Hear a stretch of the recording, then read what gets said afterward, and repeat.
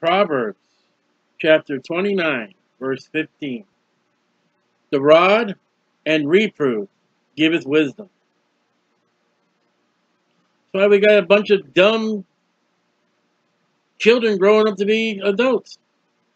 There's no rod and there's no reproof. I'm offended.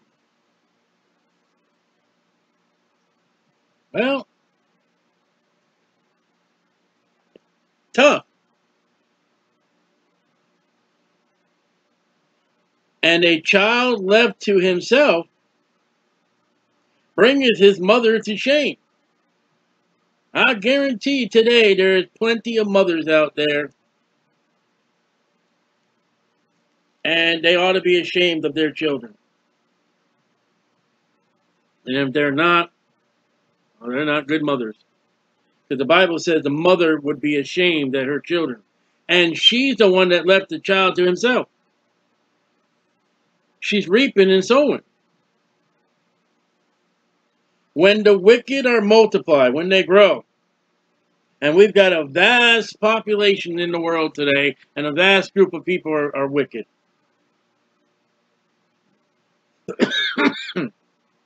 transgression increases. The more wicked people, the more the transgression. So what do you think when you got a church? The anybody's welcome. All are welcome here. And you bring in the wicked into the church. Transgression is going to increase. But the righteous shall see there the wicked fall. Showing that the righteous is not wicked, and the wicked is not righteous. Correct thy son, oh, another correction, and he, the son, will give you rest. You don't have to worry about the, you know, the phone rings, it's the police. You don't have to worry about when your child comes home, he's going to have terrible bad news. Yea, he shall give delight unto thy soul when you correct. And the modern education system here, since before even the time of Dr. Spock, and why are kids killing each other? Why are there so much violence? Why is there so much bullying? Because you won't want, you will not listen to the Bible. Where there is no vision, the people perish. So this is more than an individual when we all should have a goal.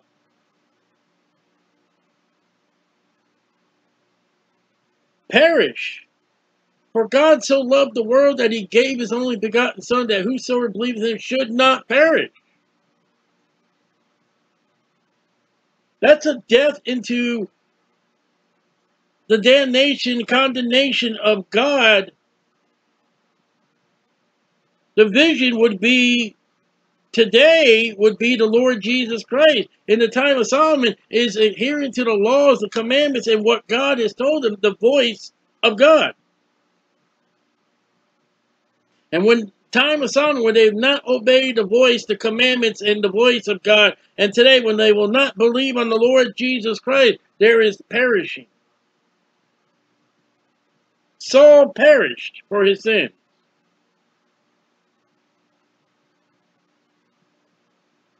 But he that keepeth the law, see, that's the time of Solomon. Happy is he. Now let me say for the Christian. Now the law is not salvation.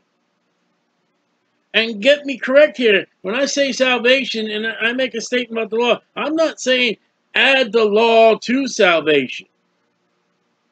I'm saying there are things in the law.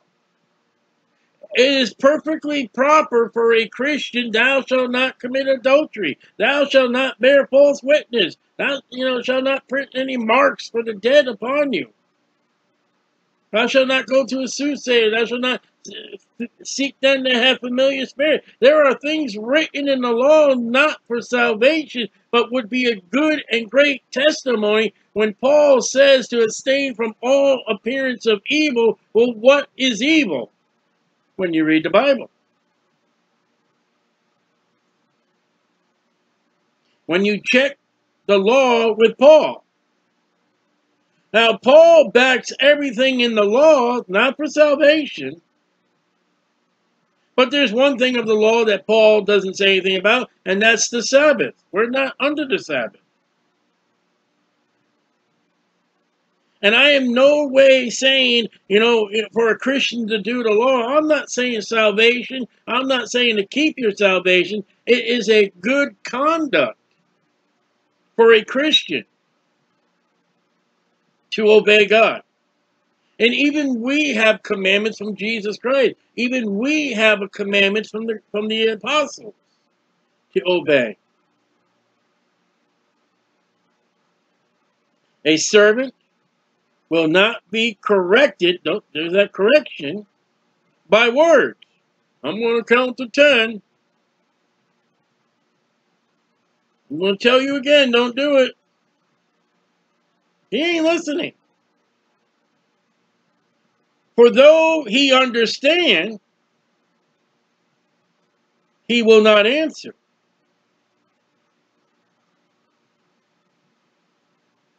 You just talk and talk and talk and talk, and you don't have no action. I'm going to dock you pay. I'm going to send you home early, because we're talking about, sir, I'm going to send you home early, and you're not going to get a pay.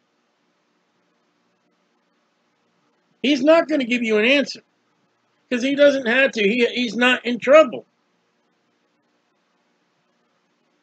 Seest thou a man that is hasty in his words?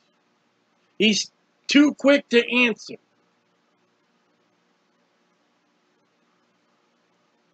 He doesn't think. He's not prudent. He's not diligent. There is more hope of a fool than of him. There's the two or three way fool, a good fool in the Bible. A man that is haste with his mouth, there's a fool is better. There's more hope for a fool. Because the man that hastens with his mouth is going to say things and he can't take them back. Woe be to that person that is a married individual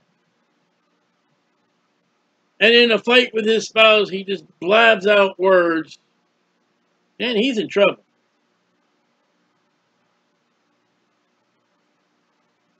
Better be a fool. He that delicately bringeth up his servant, oh, servant again, from a child shall have him become his son at length. I know everybody hates servants and, and, and all that stuff today, but you get a servant at a young age and you teach that servant what is need to be done. You teach that servant like you would your own children. There was a servant in the law, the, the Bible said, eh, eh, you know, if it came time to his freedom and he loved his wife and his children and his master, he would bore a hole in his ear and he would be a servant for life. You know that that servant from a child, that's the Christian. I wasn't saved when I was a child. Were you not born again? Did you not have the rebirth and start off as a babe in Christ? Are you not to grow in the Lord? How dare we Happy birthday to you, happy birthday to you. Celebrate our first nature that we lived under the devil. How come we don't celebrate, we're going to celebrate a birthday, how come we don't celebrate the new birth birthday?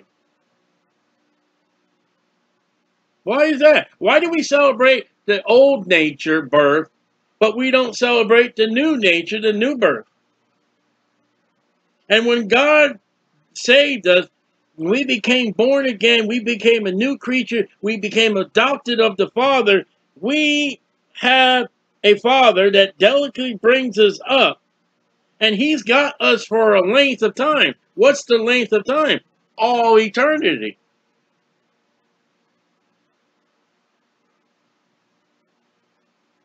An angry man stirs up strife, argument, bitterness.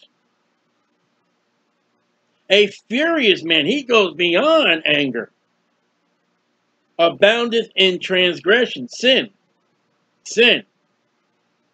Yet Paul writes to us, be angry, okay, and sin not. Let not the wrath go upon uh, sundown. A Christian can be angry. Okay? I, my nature, being grown up as a Polish Roman Catholic, I am angry with the Roman Catholic Church. I'm angry with the Pope, the Cardinals, the traditions, the catechism, the idolatry, and all the mess or mess. I ain't angry with Catholics. I want to witness the Catholics. I want to tell the Catholics what the Bible says. I'm angry with the system, but I ain't angry with the people. And I'm not angry enough to go into the church and knock off the heads off the dollies and, and burn down the confessionals and, and take the hose and step it on the ground. That's an idiot. That's furious. That's iniquity.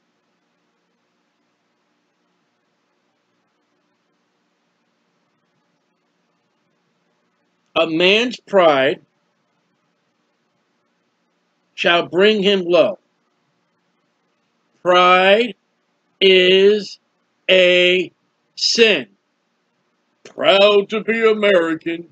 I'm proud to be a Republican guns,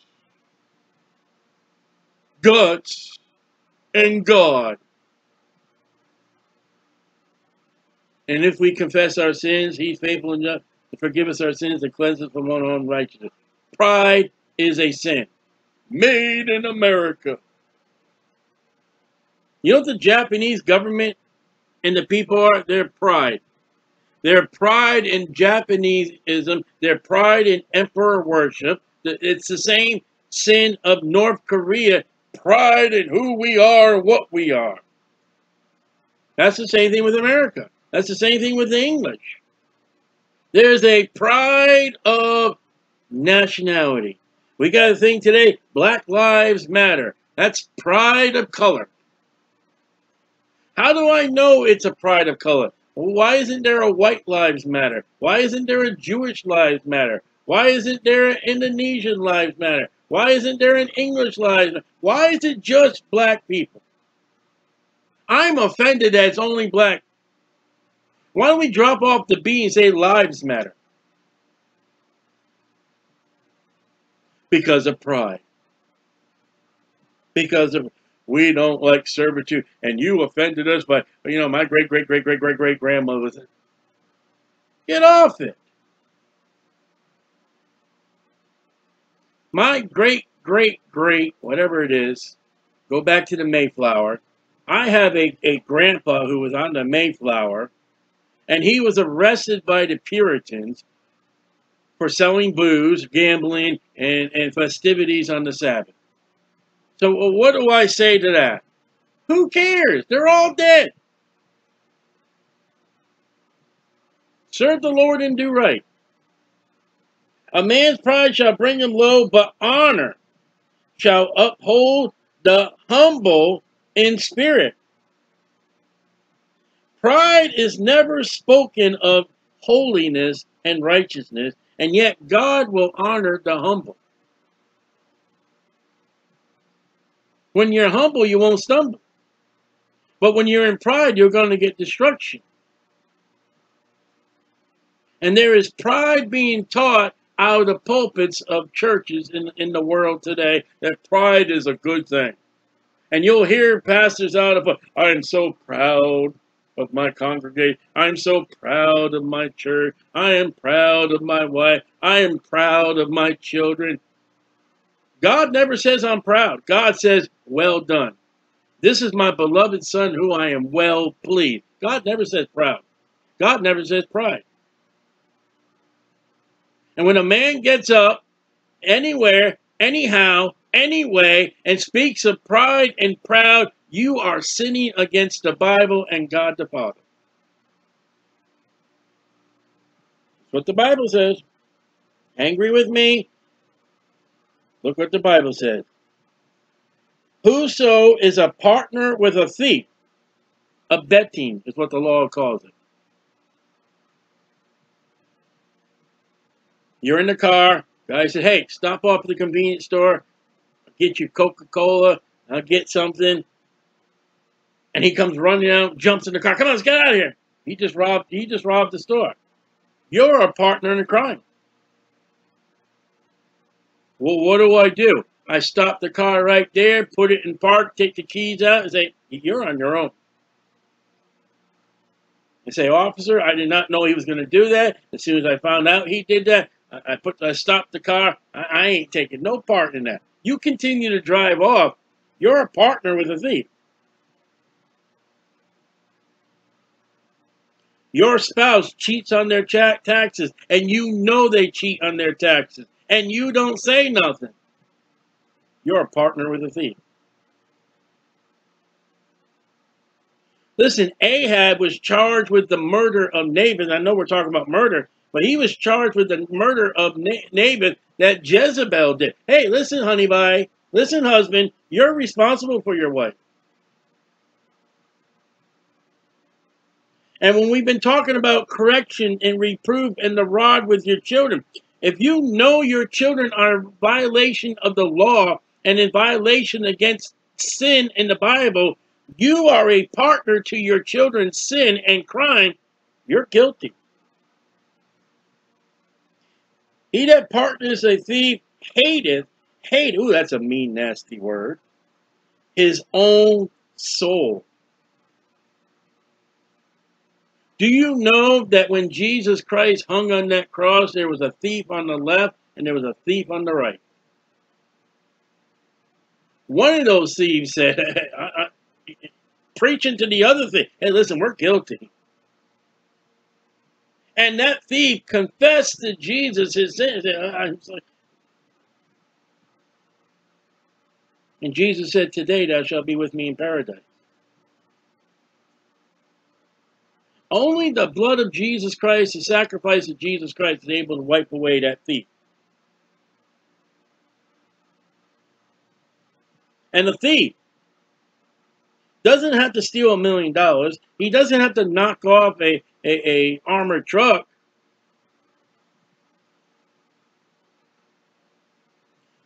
Takes a pencil from work. Takes pens from work.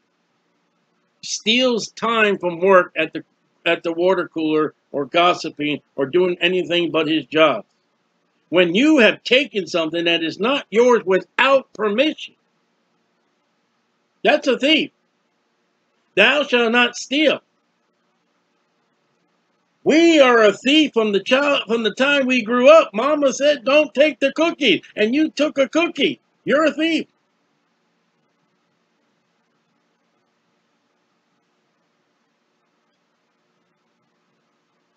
He heareth cursing, and that's not just four-lettered words and filthy language. Cursing is also, I hope you drop dead. I hope God will curse you. I hope I hope you get what you want. I hope fire burns you. I hope lightning gets you. I hope you lose everything. That's cursing. And be bewrayeth not. You, you don't try to stop it.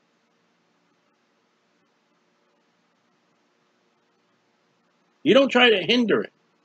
You allow it.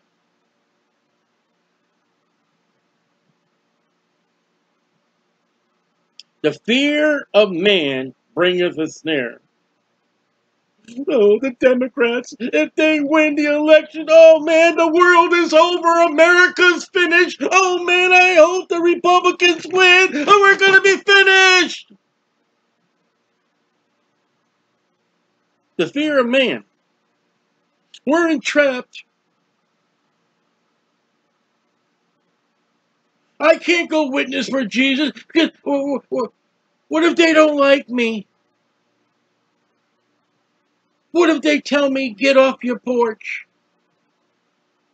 What if they say a four letter word to me? The fear of man bringeth a snare, a trap. It will prevent you from doing what God wants you to do. But whosoever putteth his trust in the Lord shall be saved. With election, I don't care who's going to be the president. I'm going to serve the Lord and I'm going to choose right with the Lord no matter what government we get. I get people all the time in the street ministry. They come up and they, they this filthy cuss me out. They hate me. They yell at me. Oh well. And I get people come up to me. I'm glad you do what you do. Man, keep it up.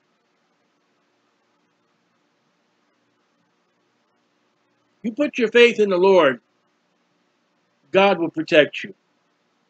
Listen, you need to read Fox's Book of Martyrs.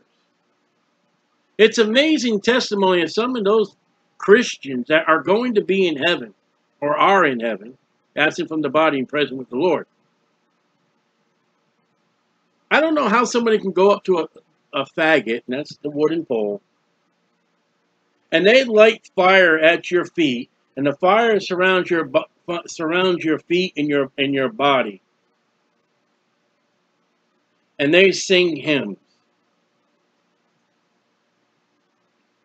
A man walks up to the to the execution spot, and he walks up to the executioner and says, "You take your hand, put your hand on my heart,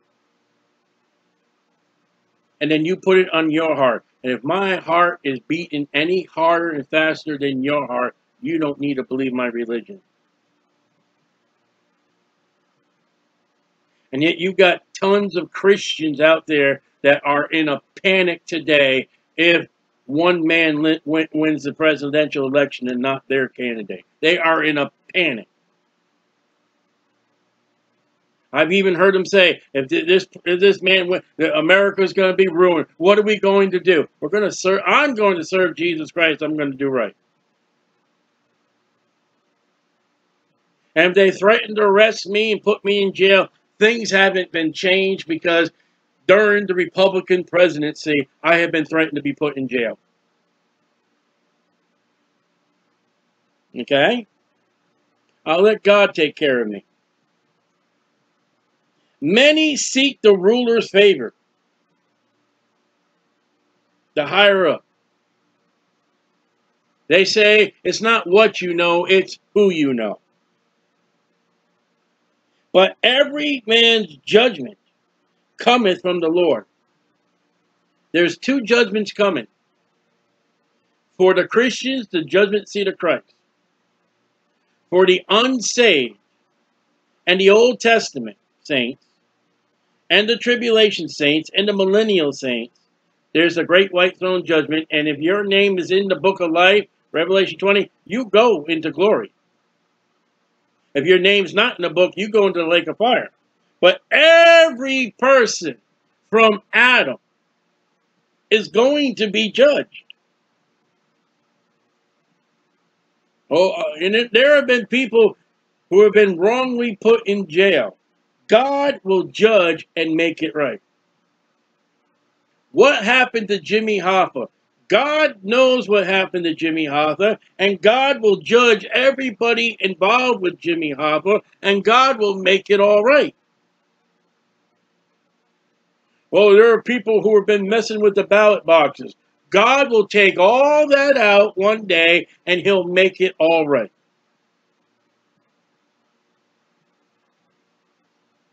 There is coming judgment. There is coming a day of reckoning for the saved and for the lost. And God will make it all right. Well, you know, I didn't get that job because I was a Christian. I lost that job because I was a Christian. It will be all made right one day.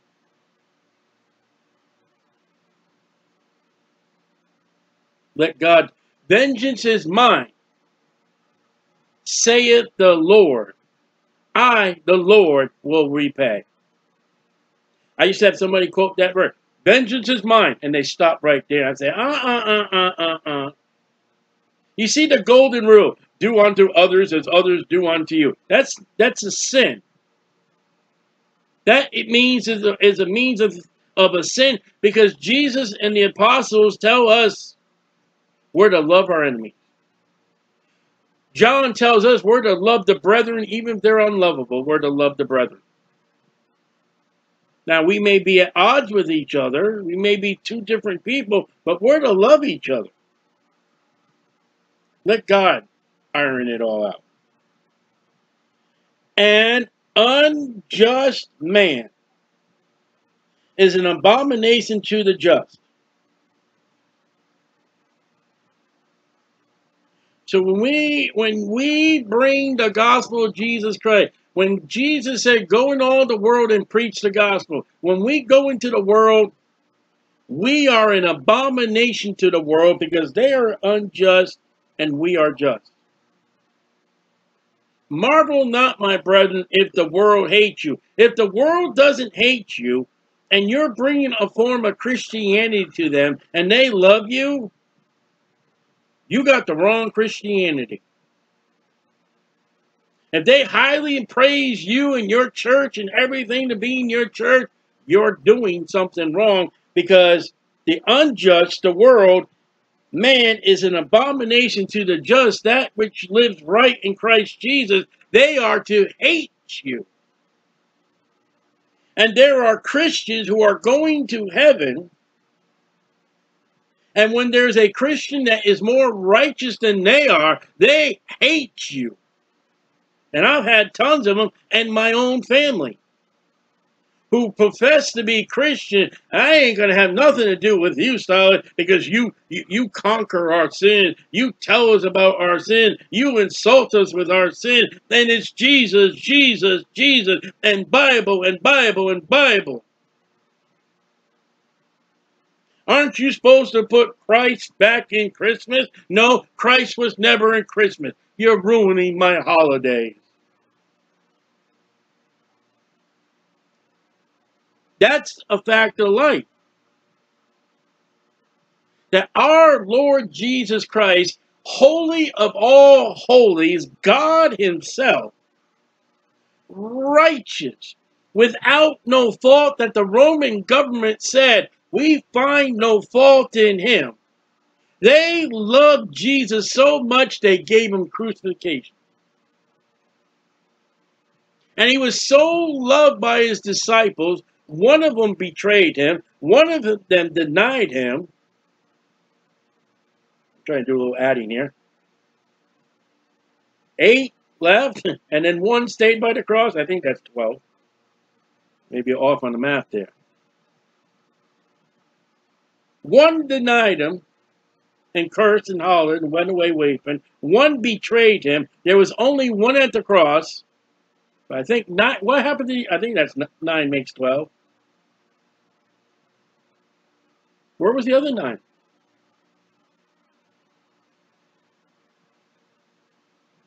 Jesus know that the world hated me first before it hated you.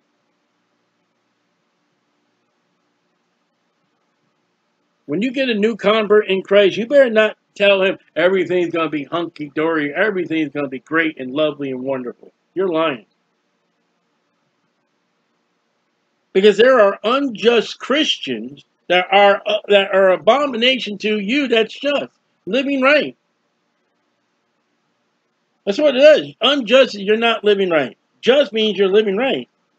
And he that is upright in the way, you're living right, you're doing right, you're trying to do right, though we're all sinners, is an abomination to the wicked.